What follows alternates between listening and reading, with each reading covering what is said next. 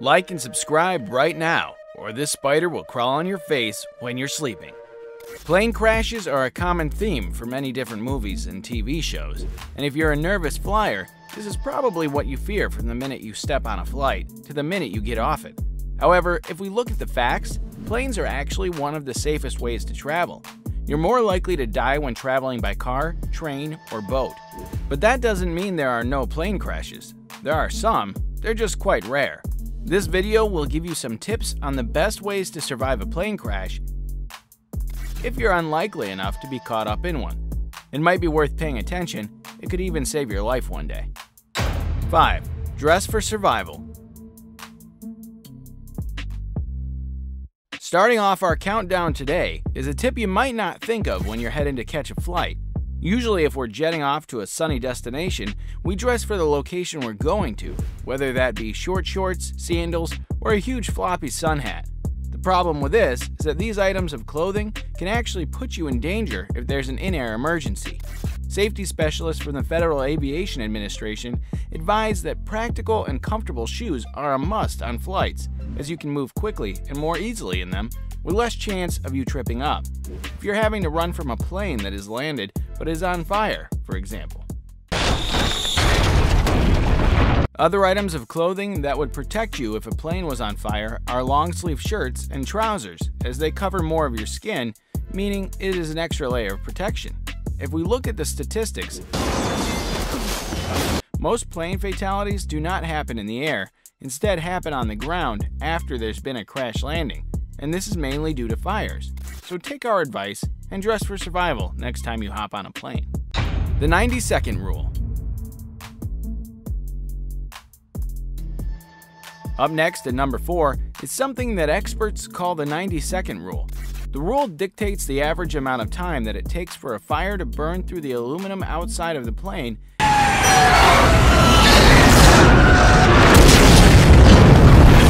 and into where the passengers are located. Therefore, if you manage to escape within the first 90 seconds, your chances of survival are greatly increased. When experts have studied plane crashes, they discovered that usually when a plane crashes, it isn't the crash alone that kills the majority of the passengers, instead, it is the fire that happens after impact. So keeping 90 seconds in your head is an important reminder that you have to act quickly if you end up in this unfortunate situation.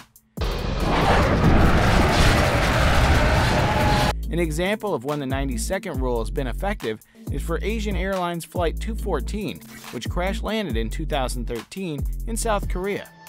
While the crash did kill three of the passengers, over 300 were able to escape as they got out before flames got into the fuselage of the plane.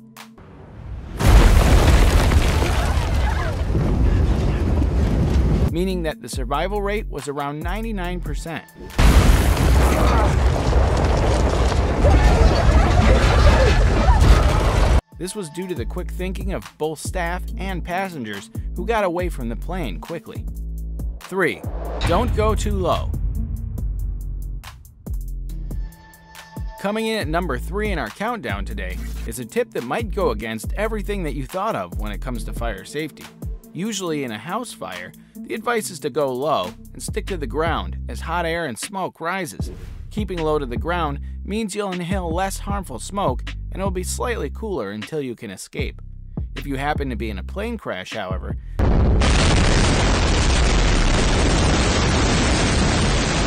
this is some of the worst advice you could follow. This is due to the lack of room in an aircraft. The aisle is narrow and there's not enough room for all the passengers on board to drop to the ground safely.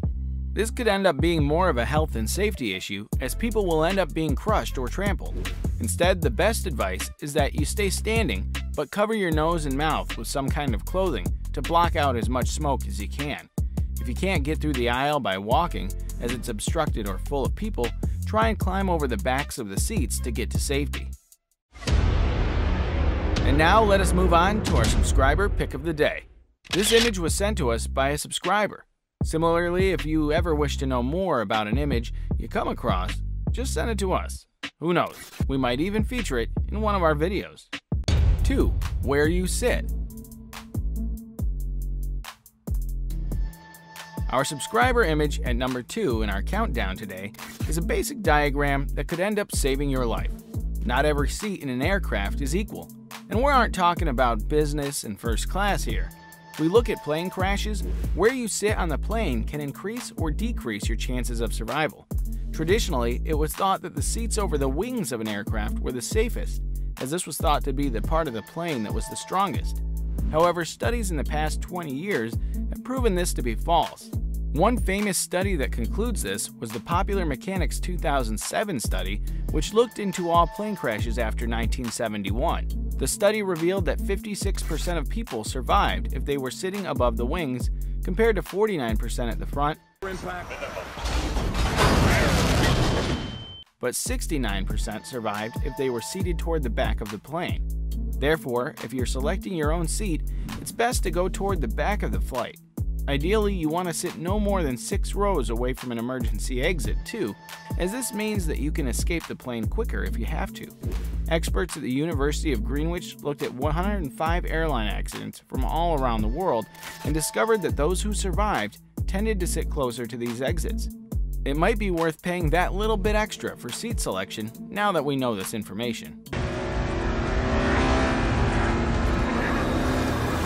1 follow the safety guidelines. And taking the top spot in our countdown today is a simple yet important tip. Follow the safety guidelines that you are given. You know that safety announcement with a demonstration that the flight attendants give before you fly? The one you probably don't pay attention to? That one. Well, start paying attention as what they are telling you could be the difference between life and death. One key thing that the flight attendants or the handy help card in the back of your seat describes is what we call the brace position. This position has been described by experts as the single most important thing to do to improve your chances of survival. Firstly, putting both your feet firmly on the ground means that there is less chance of you crashing into the seat in front of you and injuring yourself. Your hands on your head will protect it from any falling debris or luggage, and the position as a whole will stop you being thrown forward. One other thing that attendants go over in their safety briefing oxygen masks. While you may be on hundreds of flights and never have to use one, you need to know how to use them properly, as a loss in cabin pressure can be extremely harmful. If your brain loses oxygen for even a few seconds, it can cause some kind of mental impairment. The longer it doesn't have oxygen, the more severe the impairment. With oxygen masks, however, you can handle a lack of pressure in the cabin for around 20 minutes. Mask over your nose and mouth and slip the elastic strap over your head enough time for the plane to land safely, or get to a lower altitude where you don't require masks anymore. When the masks drop from above, put them on straight away, even if you don't feel the effects of no oxygen yet. They will have dropped for a reason. Flight attendants always say to make sure your mask is on correctly before helping anyone around you, including your children. While you may want to ensure that they are okay first, follow this advice as you'll not be much help to anyone if you start to lose oxygen as your brain will not work properly. After the important safety briefing, the flight attendants go through the plane, ensuring that your seatbelt is correctly fastened. Seatbelt sign is on. Please fasten and adjust your seatbelt as shown. Keep your seatbelt fastened and visible. And this couldn't be more important. Each year, over 50 people in the United States are injured while flying as they didn't have their seatbelt on when the plane hit turbulence. It's important that you listen to the flight attendant as they explain how to open the seatbelts too, as they differ from car ones and can be a little more confusing if you're trying to undo them in a panic. The National Transportation Safety Board explained that some crash victims died as they couldn't escape as they didn't know how to loosen their belts. Next time you're on a plane, we hope you listen to every word of the safety briefing after watching this video.